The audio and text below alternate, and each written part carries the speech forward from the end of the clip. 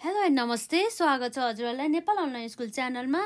आज हामी यस क्लासमा बिबिएस सेकेन्ड इयरको ह्युमन रिसोर्स म्यानेजमेन्टको चाहिँ च्याप्टर थ्रीको पार्ट टूमा रहेका छौँ है त? र हामीले यसभन्दा अहिलेका क्लासेसमा जुन जब एनालाइसिसको बारेमा पढेका थियौँ र साथसाथै यो जब एनालाइसिसको चाहिँ पर्पोजेसहरूको बारेमा पनि हामीले हेरिसकेका छौँ है त? र आज विशेष गरी यस क्लासमा चाहिँ जुन हाम्रो जब डिस्क्रिप्सन भनेको के हो र साथै जब डिस्क्रिप्सनको चाहिँ कम्पोनेन्ट अथवा यसका कन्टेन्टहरूको बारेमा चाहिँ हामी यहाँ हेर्न जाँदैछौँ है त? र साथै हामीले यसभन्दा अहिलेका क्लासमा चाहिँ हल्का जब डिस्क्रिप्सनको बारेमा पढेका थियौँ। त्यो भनेको चाहिँ जस्तै हामीले जब एनालाइसिस गर्नुको मेन उद्देश्य भनेको चाहिँ जब डिस्क्रिप्सनहरू राइटिङ गर्नको लागि साथसाथै जब स्पेसिफिकेसन भनेर हेरेका थियौँ है त। त्यसै गरी आज चाहिँ हामी जब डिस्क्रिप्सन भनेको के हो भन्ने कुरा हामी यहाँ हेर्न जाँदैछौँ। र जब डिस्क्रिप्सन भन्ने बित्तिकै चाहिँ यस्तो हो जस अन्तर्गत चाहिँ हाम्रो कुनै पनि कामहरू गर्नको लागि चाहिँ के के गर्ने कसरी गर्ने भनेर सबै स्टेपहरूको बारेमा चाहिँ यसमा चाहिँ रिटर्न फर्ममा चाहिँ हुने गर्दछ। यो चाहिँ वास्तविक काम चाहिँ कसरी सम्पन्न गर्ने भनेर चाहिँ हाम्रो लिखित रूपमा चाहिँ हुने गर्दछ। र हामीलाई पनि यहाँ भनेकै छ job description is an overall summary of tax requirement to conduct work in the form of written records भन्ने कुरा चाहिँ रहेको छ। हामीलाई चाहिँ यसरी कुनै पनि काम चाहिँ कसरी गर्ने भनेर चाहिँ अब सबै तरिकाहरूको सबै प्रोसिडर्सहरूको चाहिँ लिखित रूपमा चाहिँ लेखिएको जुन हाम्रो डिस्क्रिप्सन हुन्छ त्यसलाई हामी जब डिस्क्रिप्सन भनेर भन्छौँ। र अब हेरौँ यहाँ job description is an important document which contents a statement of job analysis it tells us what should be done and why it should be done and where it should be perform भन्ने कुरा रहेको छ। अर्थात् यसको मतलब के भयो भन्दा जब डिस्क्रिप्सनको सहायताबाट हामीले के थाहा पाउँछौँ भन्दा चाहिँ के गर्ने भनेर। अर्थात् वाट सुल बी डन के गर्ने? त्यसै गरी why it should be done किन चाहिँ यो गर्ने त? यो काम किन गर्ने? के काम गर्ने? अथवा यो काम किन गर्ने? र यो काम चाहिँ कुन ठाउँमा गएर पर्फर्म गर्ने? भन्ने कुरा चाहिँ यसरी फुल्ली रूपमा चाहिँ डिस्क्राइब गर्ने काम चाहिँ हाम्रो जब डिस्क्रिप्सन अन्तर्गत चाहिँ हुने गर्दछ। त्यसै गरी ज the job description should be clear regarding the work of the position duties etcetera भन्ने कुरा रह्यो है त? यसरी हेर्दा यो जुन हाम्रो जब डिस्क्रिप्सन भन्ने बित्तिकै चाहिँ के भयो भन्दा जुन चाहिँ यसले कुन पोजिसनको कुन काम कसरी गर्ने भन्ने चाहिँ सम्पूर्ण इन्फर्मेसन चाहिँ हाम्रो जब डिस्क्रिप्सनको सहायताबाट हुन्छ है त? यो कुराहरू भयो र अब हाम्रो यो क्वेसन थियो जुन वाट इज जब डिस्क्रिप्सन भन्ने बित्तिकै यसको हाम्रो फर्स्टको क्वेसनकै आन्सर यति नै रह्यो है त? र अब अर्को हाम्रो त्यसमा explain the content of job description जुन जब डिस्क्रिप्सनका चाहिँ कन्टेन्टहरू जसलाई हामीले कम्पोनेन्ट्स पनि भनेर चाहिँ कहिलेकाहीँ हाम्रो एक्जाममा सोध्न सकिन्छ। है त कहिलेकाहीँ के भन्छ अरे हाम्रो? कम्पोनेन्ट्स है त।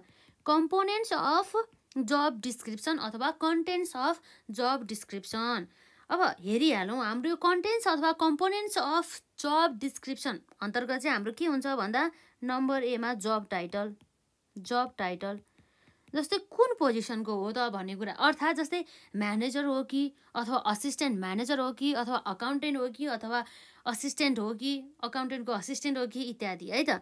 त्यसै गरी अर्को भनेको हाम्रो department or division of the job. कुन डिपार्टमेन्टको काम हो?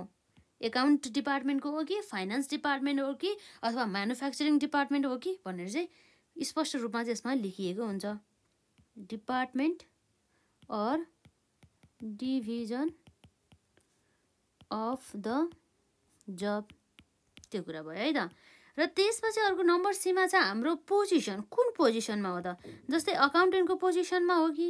अथवा जस्तै लेभल अफ म्यानेजमेन्ट लोवर लेभलमा लेभल अफ म्यानेजमेन्टमा हो कि? मिडल लेभल अफ म्यानेजमेन्टमा हो कि? अथवा हायर लेभल अफ म्यानेजमेन्टमा हो कि? भनेर चाहिँ पोजिसन पनि यसमा तोकिएको हुन्छ तहहरू है त। त्यसपछि नम्बर डीमा सुपरभिजन। सुपरभिजन गिभन एन्ड रिसिभ्डको कुरा छ यसमा? है त। सुपरभिजन गिभन अर रिसिप्ड भन्ने कुरा यहाँ रहेको पाइन्छ। र नम्बर इमा हाम्रो छ यसमा म्याटेरियल्स है त।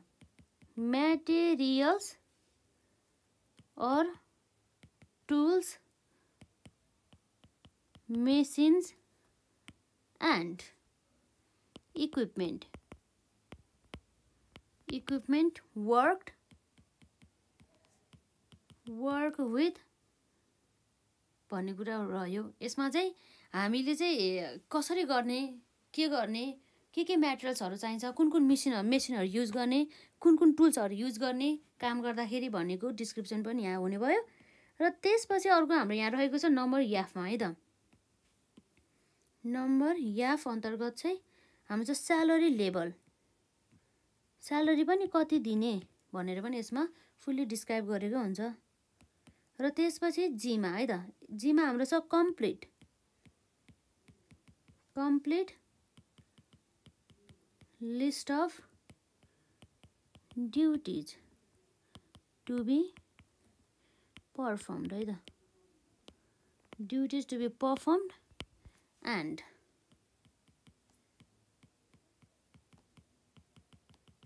and responsibilities भन्ने कुरा आयो। र अब हाम्रो यसमा यसमा छ conditions conditions of work such as त्यस्तै गरी हाम्रो लोकेसनको कुरा आयो। त्यसै गरी हाम्रो हेल्थको कुरा आउँछ हेल्थ हजार्ड्स त्यसै गरी एक्सिडेन्ट हजार्ड्स त्यसै गरी हाम्रो स्पिड्स अफ ओरको बारेमा पनि भनेको हुन्छ हामीलाई।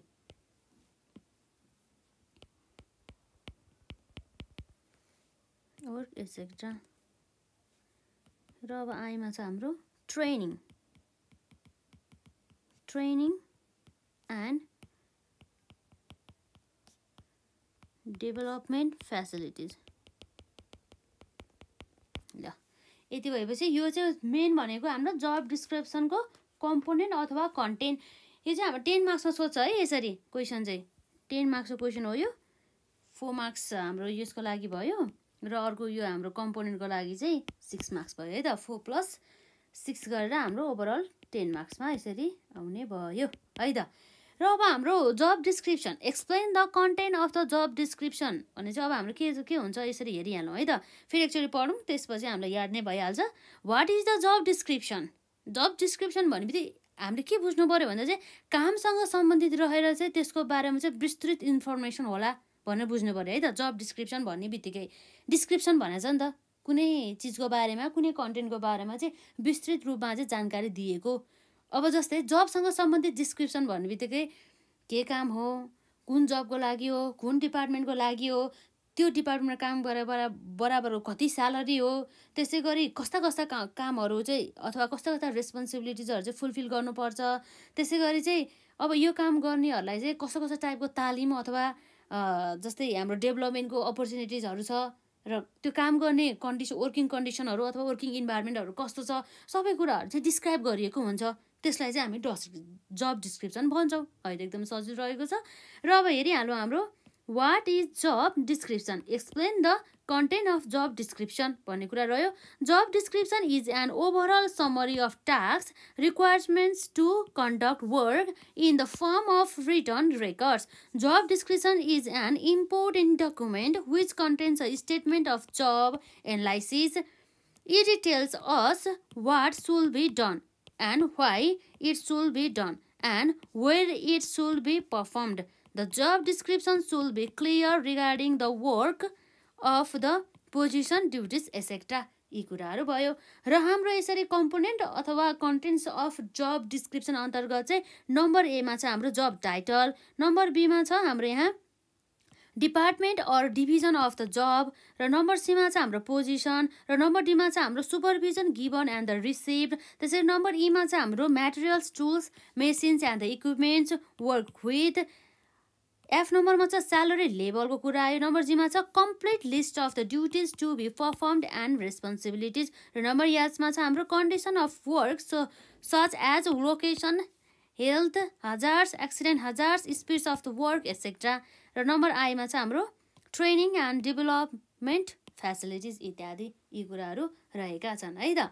एकदमै इम्पोर्टेन्ट छ टेन मार्क्सको लागि। र साथै हजुरहरूले चाहिँ यो जुन हाम्रो यसभन्दा अहिलेका क्लासेसमा पढेको जस्तै जब एनालाइसिसका चाहिँ main पर्पोजेसहरू it is also important for the examination है?